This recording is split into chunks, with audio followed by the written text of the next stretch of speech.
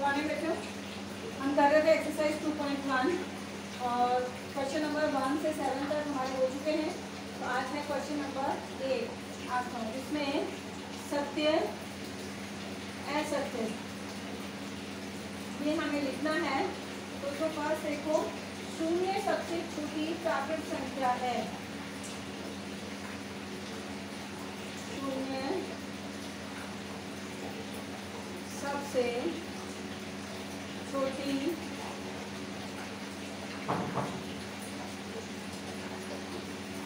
प्राकृत संख्या है। तो क्या ऐसा है? नहीं, यानी प्राकृत संख्या शुरू होती है एक से। कौन संख्या शुरू होती है? ज़ीरो से। सेकेंड चार सौ। संख्या तीन सौ निन्यानवे का पूर्ववर्ती है। यानी पूर्ववर्ती है क्या? यानी तीन सौ निन्यानवे से पहले आता है क्या चार सौ? नहीं आता ना? परवर्ती है, बाद में आता है। तो यानी है सत्य सी, शून्य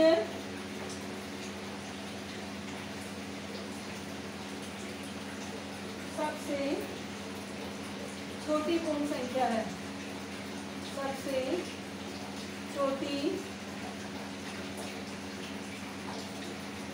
पूर्ण संख्या है।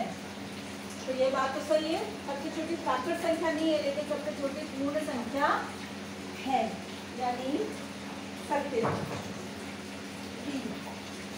छह सौ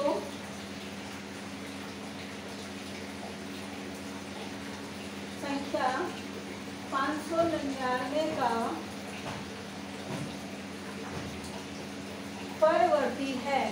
बोल रहा है छह सौ, क्या संख्या पाँच सौ निन्यानवे? परवर्ती मतलब बाद में आने वाला तो पाँच सौ निन्यानवे के बाद में छह सौ आता है? आता है? तो यानी ये है सत्य। सभी प्राकृत संख्याएँ पूर्ण संख्याएँ हैं। सभी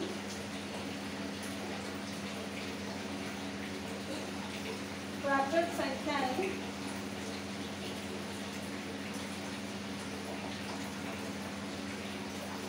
पूर्ण संख्याएँ हैं। तो आपको पता है प्राकृत संख्याएँ एक से शुरू होती, पूर्ण संख्या ज़ीरो से होती है। तो यानी एक से, और संख्या वही है। तो यानी कि एक से लेकर सारी संख्या पूर्ण संख्या भी हो गई। तो यानी ये बात सही है कि सभी प्राकृत संख्याएँ जितनी भी है, एक से लेकर वो सारी पूर्ण संख्याएँ हैं। सत्य है। लेकिन हम ये नहीं कह सकते कि सारी पूर्ण संख्याएँ प्राकृत संख्या है, क्योंकि पूर्ण संख्या तो ज़ीरो से शुरू होती है और प्राकृत संख्या एक से शुरू होती थी यानी ज़ीरो तो पूर्ण संख्या है, लेकिन प्राकृत नहीं है। इसलिए प्राकृत संख्या, पूर्ण संख्या हो सकती है, लेकिन अगर इसका उल्टा हो जाएगा तो नहीं होगा। है सभी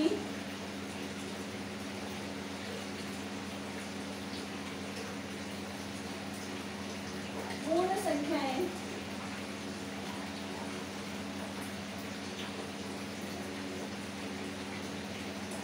प्राकृत संख्याएँ हैं। क्या बोला था? प्राकृत संख्याएँ पूर्ण संख्याएँ हैं? लेकिन पूर्ण संख्याएँ प्राकृत संख्याएँ नहीं है। यानी ऐसा तो जी। दो अंकों की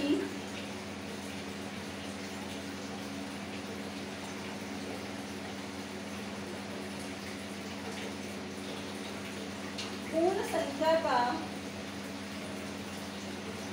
दो अंकों की पूर्ण संख्या का पूर्ववर्ती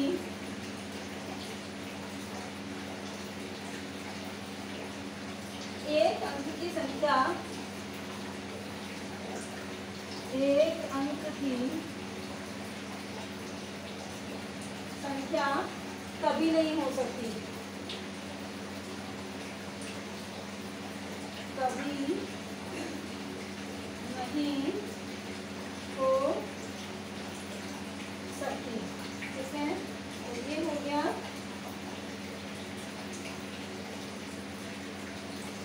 है तो देखो, दो अंकों की पूर्ण संख्या का पूर्ववर्ती एक संख्या कभी नहीं हो सकती। क्यों नहीं हो सकती? दो अंकों की जो संख्या है वो दस है और दस का पूर्ववर्ती जो है वो नौ होता है तो नौ एक संख्या का संख्या है ना? यानी गलत बोल रहा है। अगला एक सबसे छोटी पूर्ण संख्या है, एक, सबसे छोटी पूर्ण संख्या है। एक, सबसे छोटी पूर्ण संख्या है, क्या? हाँ नहीं है। ज़ीरो से शुरू होती है। तो सबसे पूर्ण संख्या छोटी है वो ज़ीरो होगी। यानी ये बता रहा है कि ये गलत है। अगला है आई। आई है प्राकृत संख्या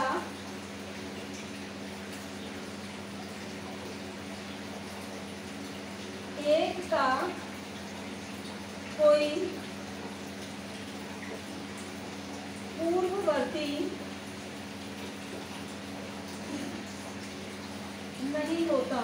ये बात सही है, क्योंकि प्राकृत संख्या तो एक से शुरू होती है। तो उसका कोई पूर्ववर्ती नहीं होता, यानी ये कह रहा है, सत्य है, सही बात है। अगला, जे पूर्ण संख्या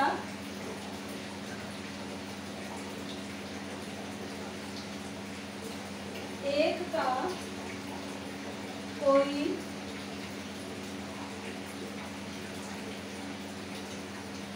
पूर्ववर्ती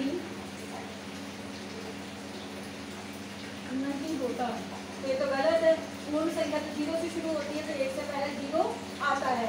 यानी ये बात गलत है। ऐसा के? पूर्ण संख्या तेरह। संख्या ग्यारह और बारह के बीच में स्थित है। आपको लगता है क्या? कि तेरह, ग्यारह और बारह के बीच में नहीं है ना? तो बारह के बाद में आती है। तो यानी सकते एल पूर्ण संख्या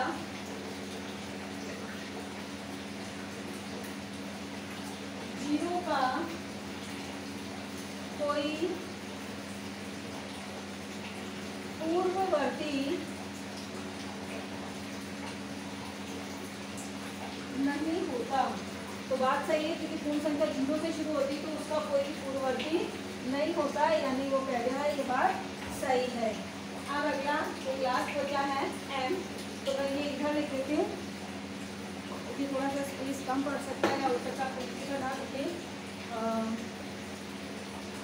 एम एम है दो अंकों की संख्या का,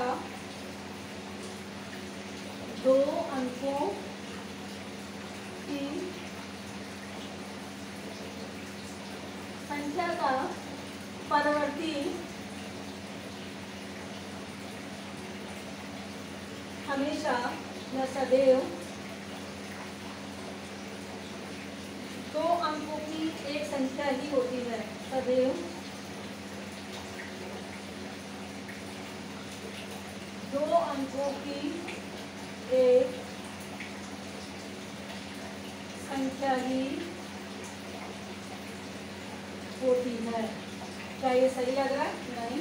क्योंकि हाँ जैसे दस के बाद में ग्यारह आएगा, या बीस के बाद में इक्कीस आएगा, दो अंकों का, लेकिन निन्यानवे दो अंकों का है।